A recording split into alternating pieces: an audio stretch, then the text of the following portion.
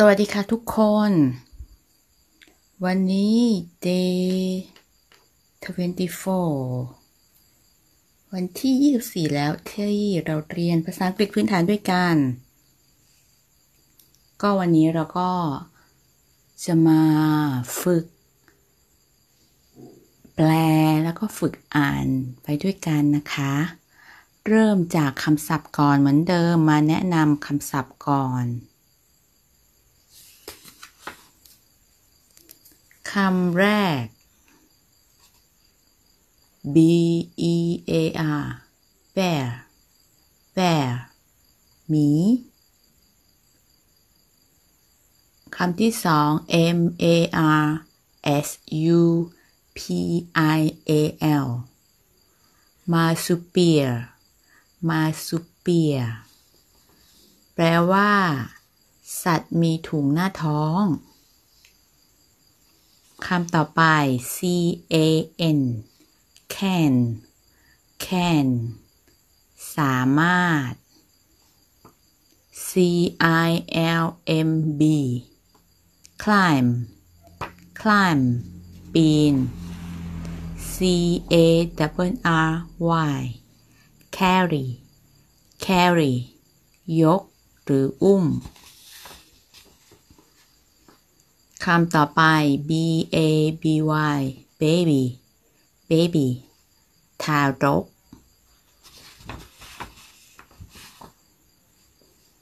คำต่อไป p o u c h pouch pouch กระเป๋าหน้าท้อง L E A V E S leaves leaves ใบไม้ T R W E tree tree ต้นไม้ N O T not not ไม่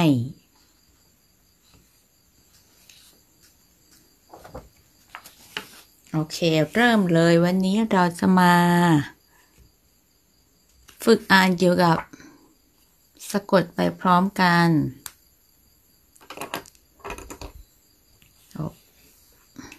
ตัว K เท่ากับคอควาย ตัว O เท่ากับสระโอ A เท่ากับสระอา L ลอลิง A กับสระอา อ่านว่า โคอาล่าค่ะ โคอาล่า โคอาล่า โคอาล่านะคะ ภาษาไทยกับภาษาอังกฤษเรียงจะไม่เหมือนกันนะ การเรียงคำ เอา swap สลับที่การให้อ่านออกเป็นภาษาไทยนะคะ โคอาล่านะคะตัวนี้ บรรทัดแรก koala is not a bear koala is not a bear koala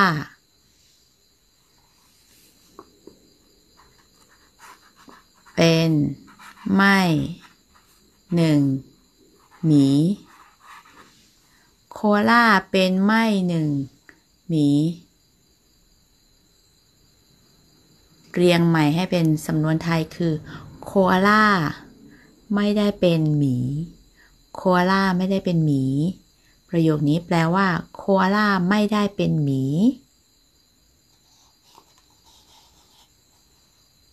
ใครรู้จักโคอาล่าไหม เดี๋ยวเอารูปโคล่าให้ดู ตัวนี้ค่ะ โคล่าน่ารักนะ มีขนมีหู นะคะ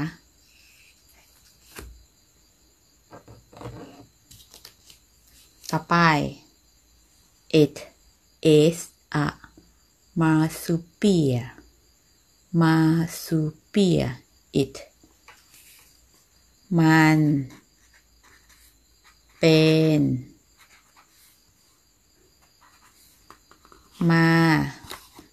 M มอมา AR เท่ากับสระอาแล้วก็มีรอเรือ S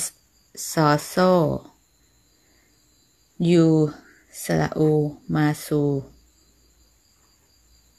P เท่ากับปอปา พอพานหรือปอปา จะออกมาสุเปียหรือมาสุเพียก็ได้นะคะ I A เป็นสระผสม เป็นสระเอีย L ก็เป็นลอลิงนี่แหละค่ะ อ่านว่ามาซูเปียอ๋อมีตรงท้ายออกเสียงเลยด้วยนะ มาซูเปีย มาซูเปีย ไม่ใช่มาซูปเอียนนะคะ มาซูเปีย มาซูเปียแปลว่า เมื่อกี้ให้คำศัพท์ไปแล้ว สวัสดีค่ะทุกคน มาซูเปียแปลว่า สัตว์มีถุงหน้าท้อง สัตว์มีถุงหน้าท้องนะคะ ดังนั้น it is a marsupial แปลว่ามันเป็นสัตว์พันธุ์สายพันธุ์ที่มีถุงหน้าท้อง ไม่ใช่เป็นหมีนะ เพราะว่าหมีอะไม่มีถุงหน้าท้อง แต่ว่าโคอาล่าเนี่ยเป็นพันธุ์เป็นสัตว์ ประเภทที่มีถุงหน้าท้อง ประเภทเดียวกับพวกจิงโจ้อะค่ะบรรทัดต่อมา it can climb a tree it can climb a tree มัน can แปลว่า สามารถ climb ปีน tree แปลว่า ต้นไม้ มันสามารถปีนต้นไม้ โคอาล่าปีนต้นไม้ได้ด้วยนะคะ ประโยคนี้แปลว่ามันมันปีนต้นไม้ได้หรือ มันสามารถปีนต้นไม้ได้นะคะ ประโยคถัดมา it it เราเรียนไปแล้วหลายรอบแล้วนะ it เนาะ ตัว i เท่ากับสระอีนะ t ทอทหารอ่านว่า it ใช่ไหม it has แปลว่ามี has มันมี gray เรียนไปแล้ว gray แปลว่า สีเทา gray ก็กอไก่ใช่ไหมตัว g กอไก่ ตัว r รอเรือ ตัว e สระเอ ตัว y เท่ากับ ยอยักษ์ก็เหมือนคำว่า day ค่ะอ่านว่า gray gray อ้าวคำนี้ f u r u r เป็นสระเออ f for fun สระเออ อ่านว่า fur fur แปลว่าขนนะคะ ขน fur it has gray fur it has gray fur มันมีสีเทาขน ประโยคนี้เรียงใหม่ก็จะเป็น มันมีขนสีเทา นะคะ มันมีขนสีเทา ต่อไป it has has h เท่ากับฮอลฮูกใช่ไหมสระแอ a เท่ากับสระแอ a เป็นสระนะลืม s เท่ากับเป็นสอเสือก็ได้ เป็นซอโซ่ก็ได้ has อะนี่อ่านว่าอะนะอะ tail tail แปลว่าหาง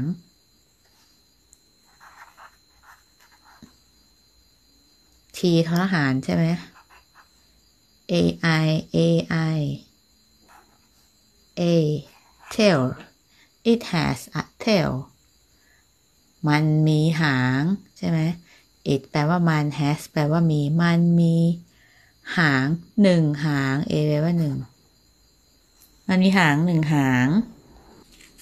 ต่อไป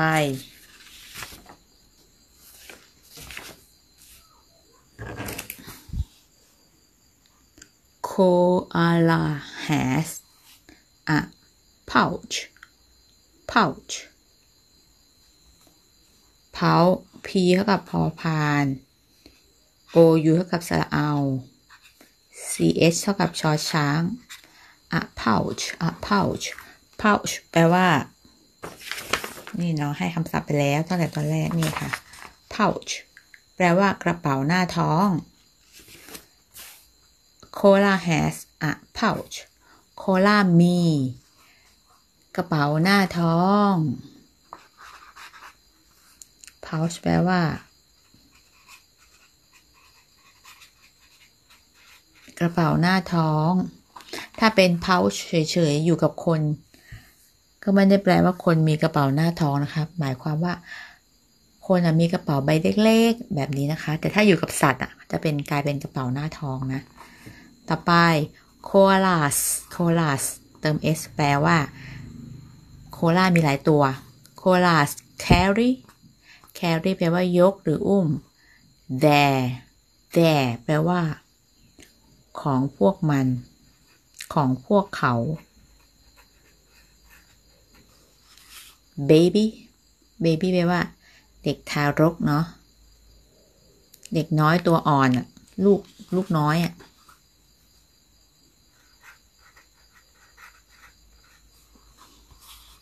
in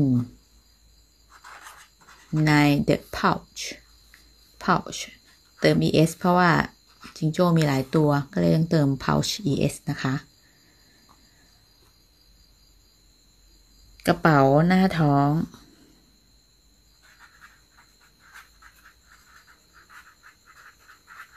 อันเดียวกับอันนี้แหละ เพียงแต่อันนี้พูดถึงโคลาตัวเดียว อันนี้โคเห็นไหมมีอะ คือไม่มี S ก็คือมีโคลาตัวเดียว แล้วมีอะหน้า pouch ก็คือ มีกระเป๋าหน้าท้องอันเดียว อันเนี้ยโคลาเติม S มีโคลาหลายตัว กระเป๋าหน้าท้องเลยต้องเติม ES เพราะว่ามีหลายอันโคลาพวกโคลาพวกหมีโคลาอุ้มของพวกมันลูกน้อยในกระเป๋าหน้าท้อง เรียงใหม่ก็จะเป็นพวกหมีโคลาอุ้มลูกของมัน ในกระเป๋าหน้าท้องก็คือใช้กระเป๋าหน้าท้องในการอุ้มลูกนะคะ หรือเขียนได้อีกแบบหนึ่งว่า koalas carry their babies in their pouches หมีโคอาลาอุ้มลูกของพวกมันในกระเป๋าหน้าท้องของมัน ต่อไป they eat leaves leaves leaves พวกมัน eat แปลว่ากิน they แปลว่าพวกมันพวกเขา พวกมันกิน leaves leaves ใบไม้ ใบ ชื่ออะไรยูคาลิปตัสยูคาลิปตัสสักอย่างเนาะใช่ไหมอืม they eat leaves พวกมันกินใบไม้ leaves they are so cute cute เราเรียนไปแล้วเมื่อวานแปลว่าน่ารัก พวกมันน่ารักมาก อันนี้แปลว่าพวกมันพวกเขาใช่ไหม แต่ถ้าเราเปลี่ยนคำศัพท์คำเนี้ย ประโยคก็เปลี่ยนเลย you are so cute คุณน่ารักมากจำเอาไปใช้ได้นะคะ ประโยคนี้ you are so cute คุณน่ารักมาก ต่อไป koalas พวกหมีโคลา live เรียนไปแล้ว อยู่อาศัย in ในออสเตรเลีย ก็คือประเทศ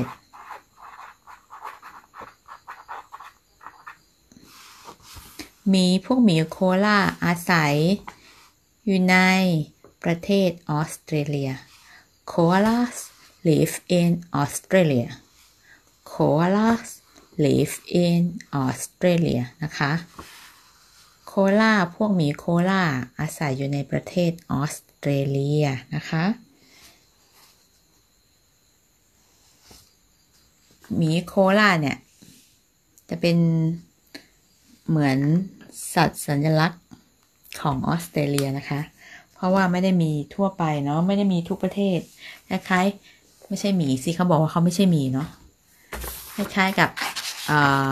แพนด้าของประเทศจีนนะคะ ที่มีจำนวนจำกัดเนาะ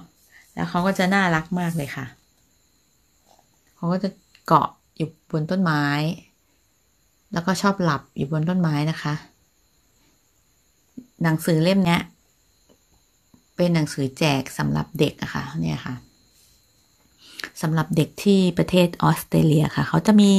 เหมือนเป็นโครงโครงการรักการอ่านของเด็กอะค่ะ นี่ครูไปขอเข้ามาเล่มหนึ่งเนาะตอนที่ก่อนครูกลับจากออสเตรเลียเนาะครูก็ไปขอเข้ามา ตอนแรกอะอยากจะหัดอ่านเล่มนี้ แต่พอเปิดอ่านเข้าไปแล้วสับมันแล้วก็วิธีการแปลสิ่งที่จะต้องแปลเนี่ย มันค่อนข้าง ซับซ้อนสำหรับระดับพื้นฐานเราจะงงค่ะ เพราะเขาเขียนเหมือนเป็นกรอนนะคะเขาไม่เขียนเป็นประโยค มันจะต้องมาแปลกรอนเป็นประโยคอีก มันยังไม่ใช่ระดับพื้นฐานนะคะ มัน น่าจะอันนี้สำหรับเด็ก น่าจะปเก้าขวบสิบขวบไปแล้วค่ะ ของเรายังเรียนแบบเพิ่งหัดเริ่มหัดอ่าน แลดูจะยากเกินไป เรามาเรียนแบบนี้ดีกว่าครูแต่งเองง่ายกว่า นะคะ ทีนี้เราก็เริ่มหัดอ่านแล้วก็สะกดคำเนาะค่อย ๆทำจริง ๆ แล้วสะกดคำเราเรียนกันไปแล้วให้เราอะต้องสะกดสะกดเองได้แล้วเนาะเพราะว่าเราเรียนไปตั้งแต่ต้นๆแล้วสำหรับการสะกดคำให้ลองเป็นสะกดเองอ่านเองนะคะ เจอคำศัพท์ที่ไหนลองสะกดอ่านเองเนาะถูกผิดไม่เป็นไรให้เราได้ฝึกใช้ ไม่งั้นเรียนไปแล้วไม่ได้ใช้จะลืมนะคะเกิดว่าใครเพิ่งมาดู ใน YouTube นะ ให้ไปดูตั้งแต่คลิปแรก ๆ เลยนะคะสำหรับคนที่ไม่รู้ว่า